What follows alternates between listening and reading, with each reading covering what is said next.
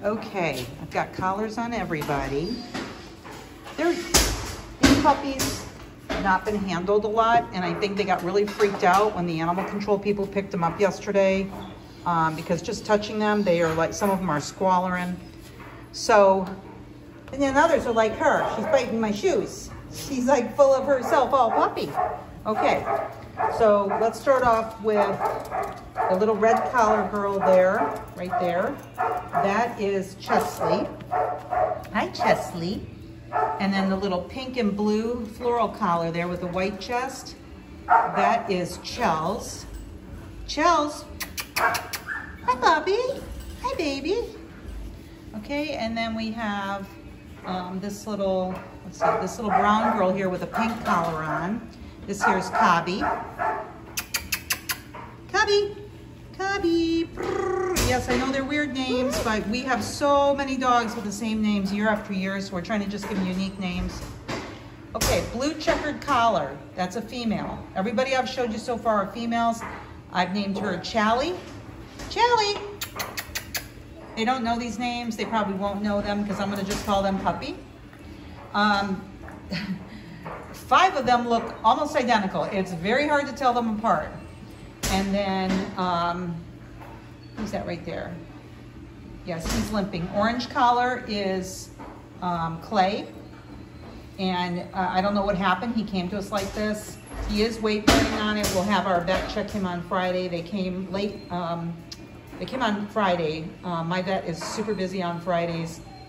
Um, so we're just going to give him the weekend to, um, you know, ride it out and see what happens.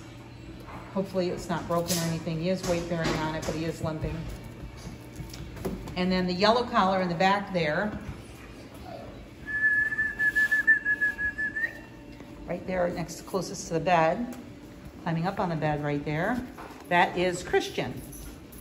So Christian and then Clay to the right. Christian's on the left. Those are the two male puppies in the litter. And they look very similar. They're very hard to tell apart. Mom was a purebred German Shepherd, and Dad, we don't know. Mom looked like a standard uh, black and tan. And so we have little um, Cobby here. She's the only one that's uh, the odd man out. She's not the black sheep of the family. oh, honey, she's so adorable. So, um, you know, we can guess that most of these puppies, mom being a German Shepherd, probably weighed about 70 pounds. That the, the girls are all probably going to weigh about that. Boys might be a little bigger at 80. 75, 80 pounds, we're just going to say on average. So, you know, a German Shepherd is a large breed dog, guys, so just keep that in mind when you're applying to adopt. We do have some Shepherd mixes from another litter that are smaller. If you're wanting what we call a pocket Shepherd or an apartment Shepherd, these guys are not the ones that you'd be looking for. We have some smaller shepherd mixes. In fact, Paola, who's in the next kennel over, um, she's a petite little apartment shepherd. We'll get video of her here shortly. So um, they just came in yesterday. They're kind of freaked out. Um, they're doing really good. They're, they're sleeping on their blankets and they figured out the dog door and it goes out to a concrete area. It's pretty big out there. It's uh, plenty of room for them to walk around and it's another rainy day in March in East Tennessee. So these guys are safe. They've got a roof over their head where before, where they were, their owners were not um, taking care of these puppies. Extremely irresponsible and negligent. And nothing is done about this. Two of the puppies um, were hit by cars and killed uh, because these people, I guess, live on a main road and the house is close to the road. They didn't care. They didn't care. Um, so these poor babies um, were taken out of a really bad situation where they were neglected and uh, they did have fleas. We've bathed everybody. They smell so much better. And um, they're available for adoption through Imminent Danger German Shepherd Rescue.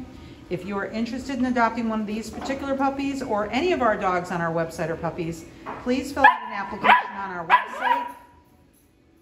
www.idgsr.org and then we'll process your application and get back with you.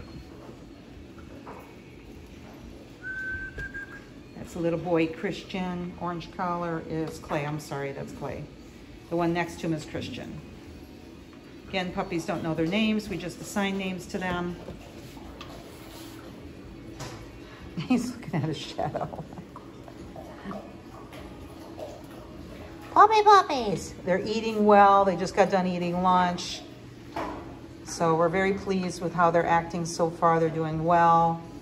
And they'll be ready for adoption in a couple of weeks, um, or three weeks actually. If you're local, we can let them go early.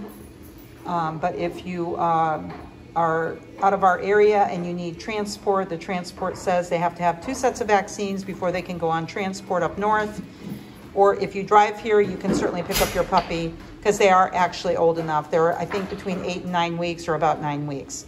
So regardless, if you want to drive here to pick up your puppy, you're welcome to do that because that's what crazy dog people do, right? We are in the crazy dog people club. We're not obsessed. We're not like freaks over dogs, but we're saving lives, guys. That's what this is about. These are underdogs. They would have ended up dead. They would have been euthanized um, if they were in a shelter because they would have broke with parvo. When you have shelters that are all over the state and there are, people are not spaying and neutering and these puppies are coming in litter after litter after litter. I'm hearing many, many stories from uh, rescue groups and shelters where the shelters have got 100 puppies a week coming in. That's insanity. This is absolute insanity. They're euthanizing them. I had a shelter manager tell me they had 100 puppies come in. They had to euthanize half of them because they had no place for them to go. This is insane. The cheapness of life. Oh, it's just a worthless puppy. Just, just kill it. So this is very frustrating to us. So let me have that string in your mouth, please. Thank you. So um, I know this video is long. These babies are adorable. All their little collars. And uh, we'll try to get pictures and stuff and uh, of individual puppies so that they can be listed online. But in the meantime, we're going to share this video on our Facebook page. Uh, we've got other puppies that are available for adoption. Um, there's four left in the P puppies, um, Palma's puppies. One is pending adoption, so there's four of them, and they're about the same age. And then we've got the M puppies, who are about 14 weeks old. They're available all of these kids need homes. So if you guys can open up your hearts to welcome in another family member, please do so. Um, we are in an urgent animal welfare crisis in this country. It's out of control.